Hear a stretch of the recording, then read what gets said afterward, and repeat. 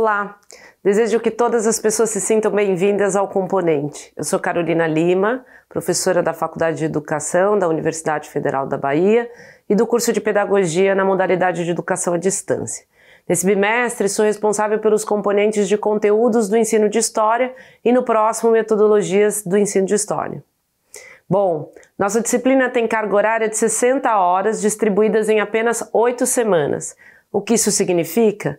Significa que nesse curso percorremos temas e questões importantes para o ensino de história na educação básica e que, portanto, será necessária uma dedicação intensa de cada um de vocês. Nesse processo é fundamental organizar bem o seu tempo para acompanhar nosso planejamento semanal, a fim de aproveitar ao máximo os conteúdos e atividades propostas. Este componente vai tratar da natureza do conhecimento histórico, do papel social de seu ensino na educação básica, em especial nos anos iniciais, e dos processos de aprendizagem histórica.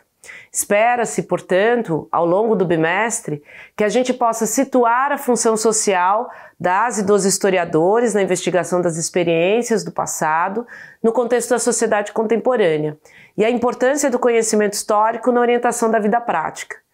Em segundo, caracterizar os saberes históricos escolares, contextualizando o processo de disciplinarização da história e a presença dos conteúdos históricos no espaço escolar brasileiro. Em terceiro e último lugar, reconhecer os conteúdos históricos nos documentos curriculares vigentes e contextualizar a formação, a formulação do atual currículo nacional, problematizando seus limites no que tange ao ensino de história nos anos iniciais. O bimestre, por sua vez, está organizado em duas unidades. Na primeira, começamos refletindo sobre a epistemologia da história, conceitos, fontes, domínios e correntes teóricas que dão sustentação e orientam o trabalho de pesquisa de historiadores e historiadoras profissionais.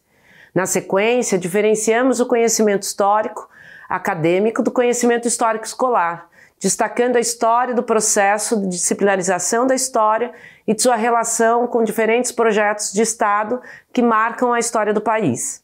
Além disso, discutimos a noção de conteúdo na sua relação com os conceitos históricos e como os currículos vigentes organizam o ensino de história. Na segunda unidade, o foco recai sobre conteúdos históricos específicos que são comumente trabalhados nos anos iniciais, como as efemérides e a história local, além de abordar temáticas relacionadas à Lei 10.639, que estabelece a obrigatoriedade do ensino de história da África, dos indígenas e da cultura afro-brasileira.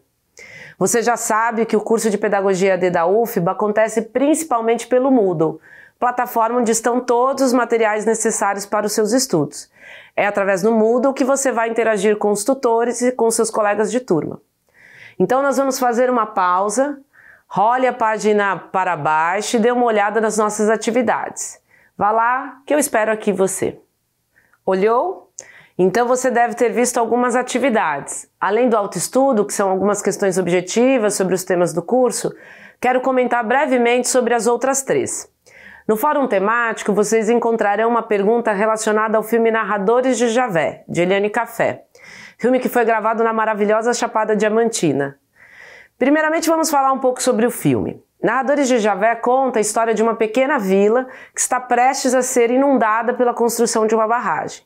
Para salvar sua comunidade, eles decidem escrever um livro que registra a importância histórica do lugar, usando suas memórias e histórias orais. Esse cenário nos leva a refletir sobre a importância da memória oral na preservação da história das comunidades e sobre o próprio processo de pesquisa histórica.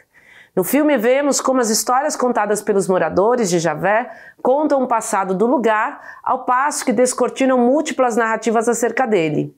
Essas memórias são fundamentais para a criação de uma narrativa histórica, mas também trazem consigo vários desafios.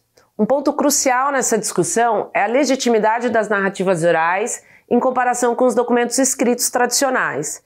Historicamente, as fontes escritas foram sendo vistas como mais legítimas ou confiáveis, mas o filme Narradores de Javé nos mostra que as memórias orais também têm um valor imenso elas capturam aspectos da vida e da cultura que muitas vezes não estão presentes nos documentos escritos. Produzir conhecimento histórico a partir de fontes orais e memórias comunitárias, como vemos no filme, envolve navegar por esses desafios, mas também oferece uma oportunidade única de preservar a identidade e a cultura de comunidades que de outra forma poderiam ser esquecidas.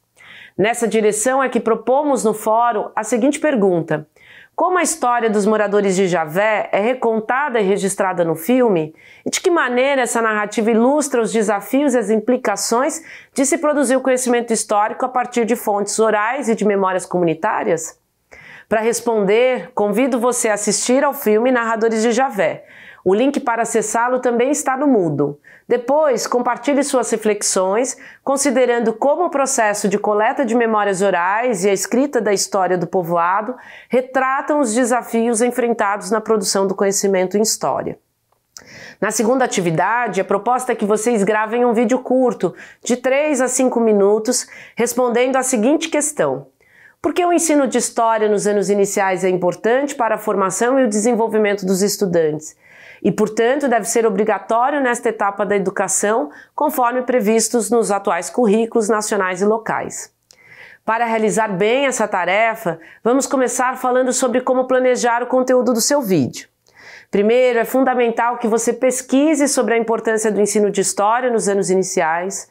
Utilize fontes confiáveis, como artigos acadêmicos, documentos oficiais, livros didáticos e as leituras obrigatórias do curso. Essas fontes fornecerão uma base sólida para seus argumentos. Depois de coletar as informações, elabore argumentos consistentes que expliquem que o ensino de história é essencial para a formação e o desenvolvimento dos estudantes. Considere os seguintes aspectos na sua argumentação: o desenvolvimento do pensamento crítico e do raciocínio histórico, a construção da identidade, compreensão de conteúdos históricos e culturais diferentes, a promoção da cidadania e o fortalecimento da democracia.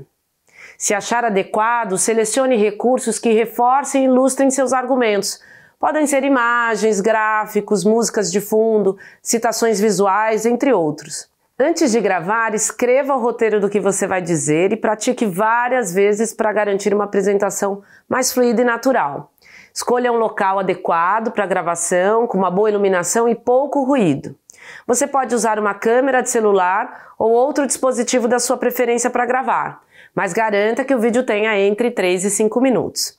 Estando com o vídeo pronto, crie uma conta no YouTube para fazer o upload dele. Carregue o vídeo no YouTube e depois compartilhe o link gerado no espaço lá no Moodle. Você pode deixar o vídeo com opção não listado, assim somente quem tiver o link vai ter acesso. Por fim, a avaliação presencial será um seminário. A proposta é que cada grupo apresente uma resposta fundamentada para uma das questões problemas que orientam o andamento do curso. Elas são apresentadas a cada semana no programa do componente. Para que a atividade aconteça, a turma será dividida em oito grupos. Cada grupo será responsável por uma questão problema específica. Essas questões foram elaboradas para abranger os principais temas e tópicos discutidos neste bimestre. E sobre avaliação? A nossa avaliação será processual, ou seja, ela vai levar em conta todo o seu percurso no componente. Você vai ter quatro notas. A sua nota final vai ser a média dessas notas, respeitados, claro, os devidos pesos. A nota 1 é autoestudo, ela tem peso 1. Nota 2 é fórum, peso 2. A nota 3 é atividade de produção, tem peso 3. E a nota 4 é avaliação presencial, com peso 4. A nota final é a média das quatro notas, respeitadas os respectivos pesos. Estamos chegando ao fim da nossa videoaula introdutória, mas na verdade estamos apenas começando um caminho de aprendizado transformador. Este curso foi cuidadosamente planejado para proporcionar a vocês algumas reflexões sobre a natureza do conhecimento histórico, o papel social de seu ensino na educação básica, em especial nos anos iniciais, e os processos de aprendizagem histórica. Cada leitura, cada discussão e cada atividade é uma oportunidade de ampliar seu conhecimento, complexizar conceitos e noções relacionados à ciência histórica, desenvolver competências e saberes inerentes à docência e formar uma base sólida para o seu futuro profissional. Lembre-se de que o sucesso neste curso não depende apenas do conteúdo que será apresentado, mas também de seu empenho e dedicação. Organize seu tempo, participe das discussões, colabore com seus colegas e não hesite em buscar ajuda quando necessário. Obrigada pela atenção e abraços.